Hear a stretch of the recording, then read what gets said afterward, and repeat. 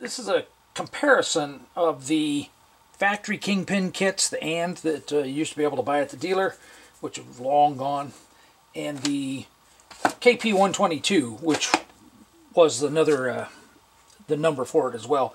I ordered 50 of these kits through China. Okay, I did a couple of samples to make sure that I liked everything, and then I ordered 50 of them. The biggest difference is the shims are okay, the pins are the same, the cups, the thicknesses are a little different, but the diameters are okay. Uh, the cotter bolts are the same. The bushings and the bearings are the biggest difference. There's about a 25 thousandths height difference in the bearings. Now, shim-wise, there's at least twice that here. So push come to shove, might have to... A lot of times when I rebuild these, or when I have rebuilt them in the past, the metal is worn out in here and you have to take a file and file down the edges to the divot in order to get the stuff in there anyway.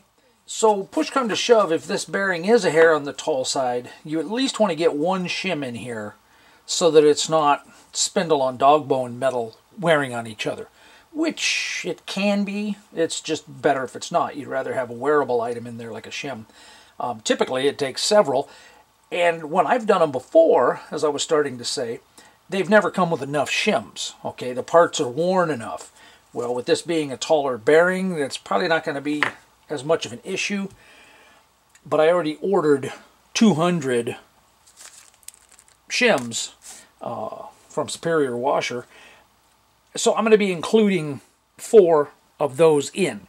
With this bearing being a little thicker, you probably won't need them, but I'm going to put them in anyway because I bought them and I've got no other use for them. So the other difference is the and if you guys aren't familiar with kingpins, okay, the vehicle load rides here on the dog bone, so it's pushing down and the tire is holding it up. So that bearing is in there so that this thing can turn.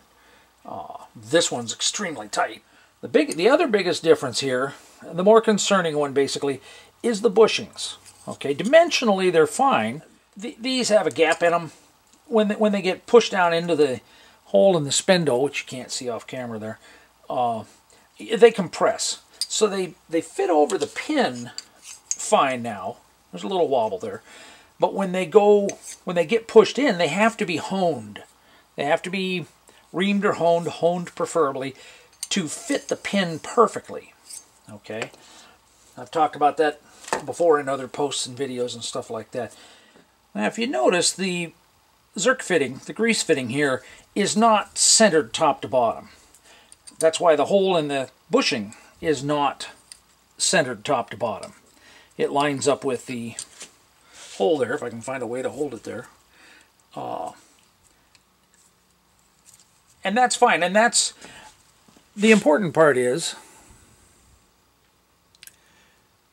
is that the hole lines up with one of the grease channels. All right, on most of them, the other kits I've had and stuff like that, the hole was in this top channel. Well, here it's in one of the more vertical channels. Okay, it still all squishes out and goes in everywhere, stuff like that. So that lines up with the Zerk fitting, and that allows the, the grease to pump up into the top here, around the pin, and down here into the uh, shims. Okay down here, it would come up into the bearing. The concerning part with this, or the item that needs attention, is the hole on all of these, the samples that I've gotten and the uh, that I've opened up, stuff like that. The holes are all in the middle. That lines up with the grease channels inside, so that's okay. The problem is, is when it goes in here, it won't line up with the hole in the spindle. So that hole needs to be elongated slotted basically up in uh, toward that fitting. Okay, and the bottom one goes in the same way. You know, the hole is up toward the top there. So we need to go up eh, eighth of an inch or so. And the reality is, is if if you install it, you got to make sure it's rotated, okay, so that it lines up with that hole. And if it doesn't quite line up vertically, Well, with that Zerk fitting out, you could actually go in and open that hole up a little bit. You just want to make sure you don't screw up the threads in that hole. So, a couple different options. Um, one of them had a slightly bigger hole, so it was easier to get a die grinder in there. Um, you can use a pneumatic die grinder, uh, rat tail file. Going to be slow and tedious, but the metal's not that hard, so uh, it will be it will be possible to do it that way. Okay, and I'm exploring these options for the customer. For me, if I go to do this, I'm going to set up a program in the CNC mill, and I'll put two of these in each of the vices, and I'll have it come down, I'll have it elongate that hole, and hopefully uh, deburr it too. We'll see. Anyway, this uh, this bit in a Dremel actually seems to work pretty nice too. I'm not positive it's carbide, but it seems to be cut in a steel okay. Still a little slow and tedious compared to other options, but if you're the owner and you only have to do four of these, you know, hey, not a big deal.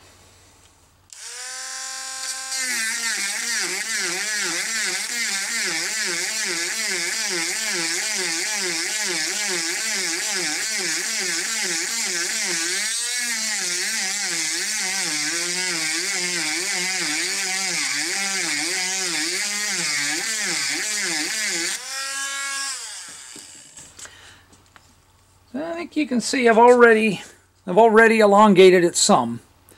Uh, so it really, you know, it'll take about five minutes a piece maybe. Uh, granted, using a regular Dremel would be faster. You'd have more torque and horsepower. Mine is currently set up with a different attachment on it, so I didn't want to take that apart, just do this video.